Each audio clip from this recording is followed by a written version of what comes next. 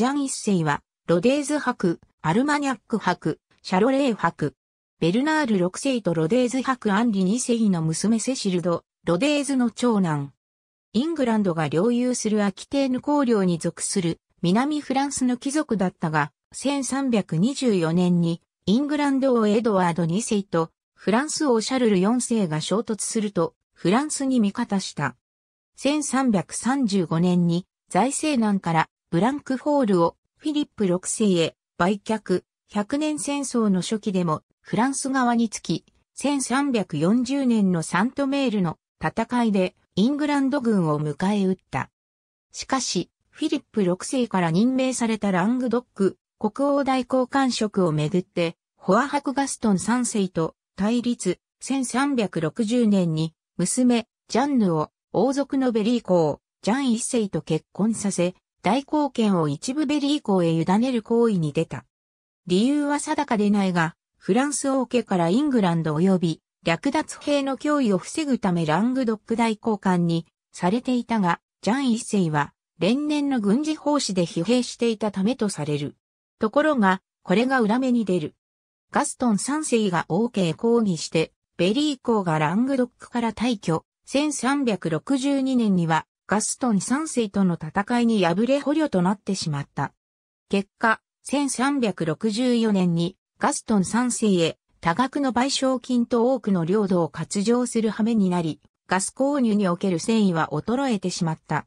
こうした逆境から1360年代には、イングランドへくら替えし、賠償金の支払い援助をエドワード・黒大使に願い出ている。また、1367年には黒大使に従軍しナヘラの戦いに参戦している。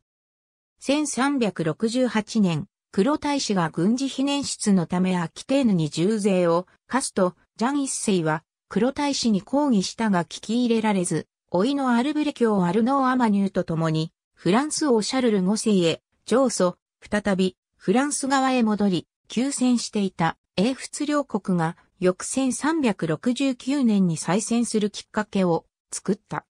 一方、新たにラングドック大公官として赴任したアンジュー・コール一世は、ジャン一世とガストン三世の仲裁を図ったが、ガストン三世に肩入れしている姿勢に反発し苦情を訴えている。1373年死去、息子のジャン2世が後を継いだ。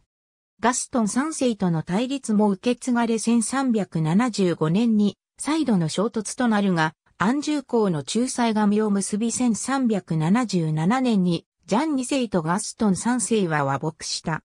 和睦以後も勢力拡大するガストン3世に圧迫され、アルマニャック家は苦境に立たされるが、やがて孫のベルナール7世がベリー公をはじめとする王族と結びつきアルマニャック派を形成、フォワ伯が属するブルゴーニュ派と衝突していった。1327年、ジャンド・シャロレーの娘ベアトリスと結婚、二男二女を設けた。朝時、P92、P94、P101、P102。佐藤、P125、P126。佐藤、P127、P128。木戸、P75、P78。佐藤、P128、P129。